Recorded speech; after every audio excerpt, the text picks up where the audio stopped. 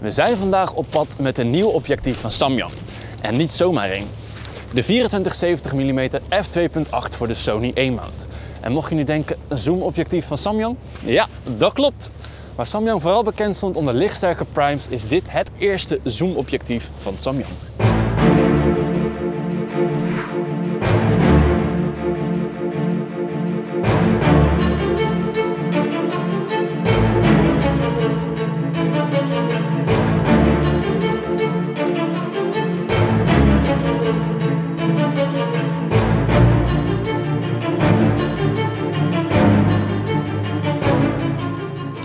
En voordat we doorgaan naar de specificaties van het objectief, gaan we het eerst even hebben over een wel heel bijzonder kenmerk. Dit objectief is namelijk parfocal. En voor degenen die niet weten wat het is, Leggen we dat nu even uit. Voor het gemak filmen we even op statief. Ik ga in beeld staan en zoals je kunt zien ligt de scherpte op mijn gezicht. Maar nu denkt de fotograaf, hmm, ik wil eigenlijk wat meer inzoomen. Dus hij verandert de brandpuntsafstand. Bij vele zoomlenzen zal je merken dat het met veranderen van de brandpuntsafstand ook de scherpstelling iets zal veranderen. Waardoor je deze bij zal moeten stellen voor een scherp resultaat.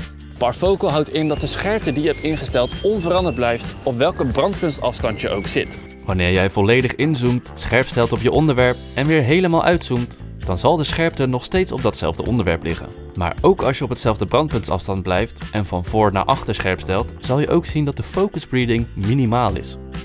En waarom dit belangrijk is voor bepaalde fotografen of videografen, dat laten we nu even zien.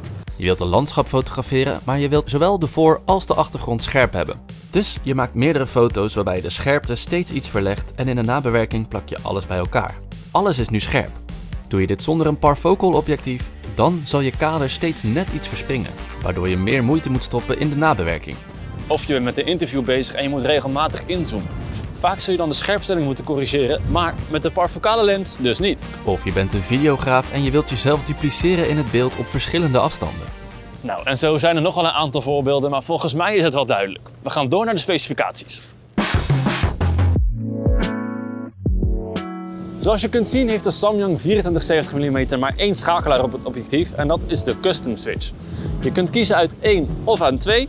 Nou, staat hij op 1, dan kun je focussen of scherp stellen met de voorste ring. En zet je hem op 2, dan kun je met de voorste ring je diafragmawaarde bepalen. Dit kan je instellen via de Samyang Lens Station en in de toekomst zal er nog een firmware update komen waarin de waardes waaruit je kunt kiezen wordt uitgebreid. Dan nog even terug naar de scherpstelling. Uiteraard beschikt het objectief over autofocus en het heeft een focus-by-wire systeem. Dus het heeft niet die mechanische feeling wanneer je manueel scherp stelt, maar het komt er wel heel erg dicht in de buurt door die lineaire handmatige scherpstelling. Door naar de cijfers. De 2470 mm heeft een gewicht van 1027 gram zonder lenskap en zonnekap, heeft een lengte van 128,5 mm, een diameter van 88 mm en een filtermaat van 82 mm.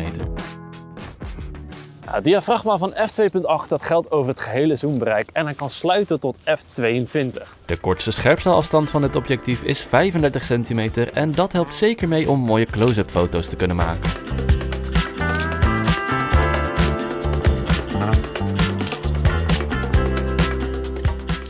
Nog iets moois aan de Samyang 2470 mm is de lineaire STM autofocus motor.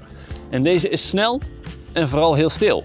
En over de focus gesproken, bij dit objectief is er ook weinig tot geen sprake van focus breeding. En dat maakt dit objectief weer ideaal voor focus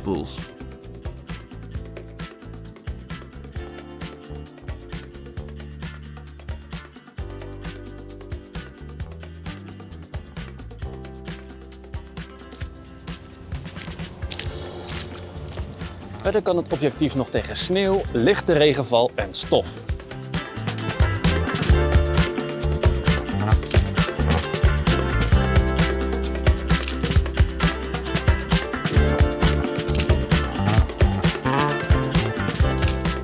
Tot zover onze review over de Samyang 2470 mm f2.8. Ben je benieuwd naar meer? Kijk dan even hierboven, dan beland je op onze productpagina. En wil je meer zien van onze video's? Kijk dan even hier. Bedankt voor het kijken, tot de volgende. De kortste schel...